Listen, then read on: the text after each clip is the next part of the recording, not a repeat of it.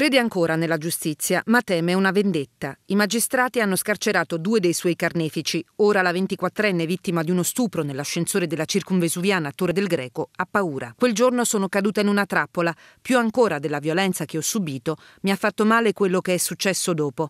Quando ti accorgi che non c'è giustizia, che non hai tutela, allora il dolore diventa insopportabile, rivela la ragazza in un'intervista a Repubblica. Ora che i giudici hanno scarcerato due degli indagati, lei teme che possano vendicarsi. Non abitano lontano, potrebbe incrociarli per strada. Per il terzo è atteso nel corso della prossima settimana il pronunciamento del riesame. Nonostante lo scoraggiamento, non esita però a lanciare l'appello alle altre donne vittime di violenza. Non abbiate paura di denunciare. Sul caso è intervenuta anche la leader dei radicali, Emma Bonino, a Napoli, ospite di un'iniziativa proprio per le donne.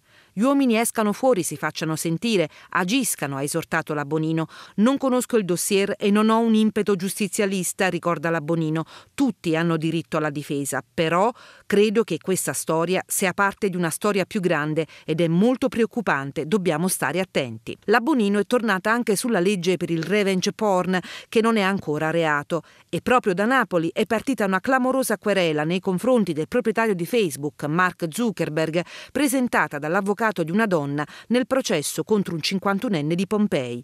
L'uomo, dopo essere stato lasciato, non aveva accettato la fine della relazione e per vendetta ha aperto un falso profilo Facebook su cui ha pubblicato tutte le foto intime della ex compagna.